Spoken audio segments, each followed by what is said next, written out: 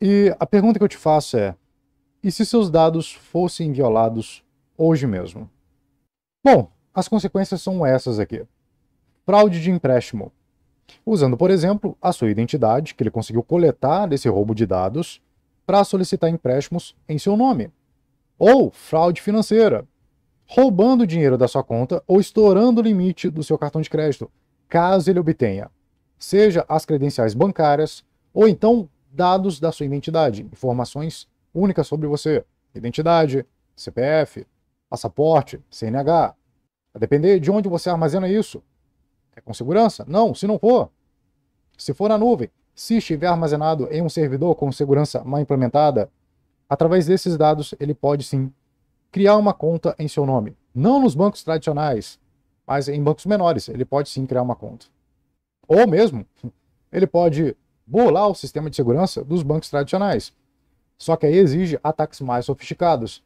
Mas é possível. Se um atacante estiver determinado a roubar muito dinheiro, ele vai se esforçar para tal. Fraude médica.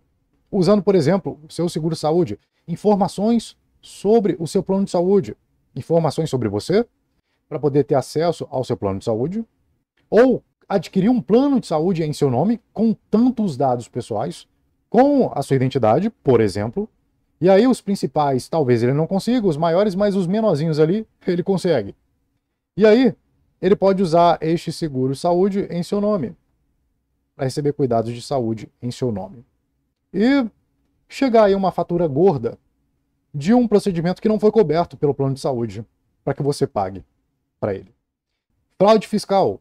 Aqui no caso, ele pode usar a sua identidade para reivindicar restituição de imposto, reembolso de imposto, só que de forma fraudulenta, obviamente. Por quê? Porque ele obteve dados muito, muito importantes, únicos sobre você. E hoje em dia, tudo é online. Você não vai mais no local, na Receita Federal, resolver os problemas. Tudo é resolvido online. Então você envia os seus documentos online comprova que você é você mandando documentos. Só que, uma vez que ele está de posse dessas informações, ele consegue convencer que é você, em seu lugar, para receber então a restituição em seu nome. Ou ele pode controlar contas e perfis, usando informações de login que ele roubou, as credenciais lá que ele conseguiu roubar através daqueles ataques que você viu anteriormente, através dessas explorações aqui, ó, através de engenharia social, phishing, invasão de rede, roubo de credenciais através de bancos de dados com segurança mal implementada, ou aplicativos, malwares, vazamentos internos, enfim, tudo isso. Por exemplo, através desses ataques. E aí ele pode controlar, seja a sua conta de e-mail, seja para coletar todo o histórico de e-mail seu, ou controlar o seu e-mail e aplicar golpes nas pessoas por e-mail, ou então controlar a sua conta na rede social, só pesquisar no YouTube, fui hackeado. Você vai ver um monte de relato de gente que teve lá a sua conta no Instagram roubada, controlada, né? E o atacante começou a publicar lá conteúdo, levando os, os seguidores a serem vítimas, aplicando o golpe lá no, nos seguidores do indivíduo que tem esse perfil. Fala galera, o Will Deitilli aqui. Estou gravando esse vídeo para explicar o que aconteceu nos últimos dias aí, que a minha conta do Instagram foi hackeada e através dela aplicaram um golpe, né, o, o que estava sendo utilizado o Pix. Ah, Anderson, eu quase não tenho seguidores. Se você tem seis seguidores, são seis vítimas em potencial. Se você tem mil seguidores, são mil vítimas em potencial.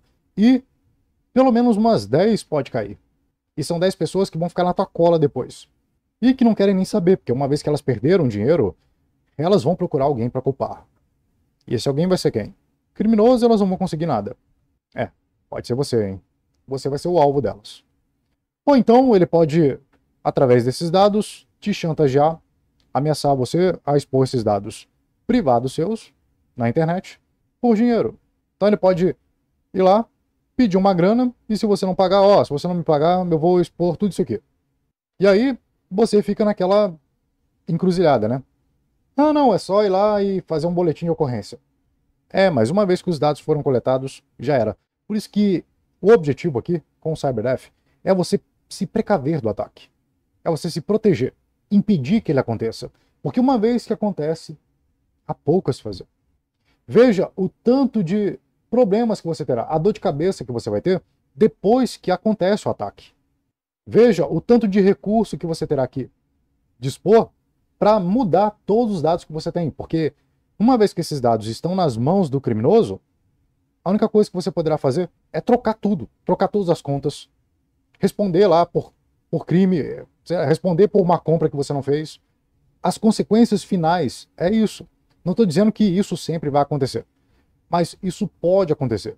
Desde você ter uma dozinha de cabeça para trocar o seu e-mail a responder judicialmente porque ah, acusaram você de aplicar golpe nelas. Só que não foi você. Sua conta foi roubada.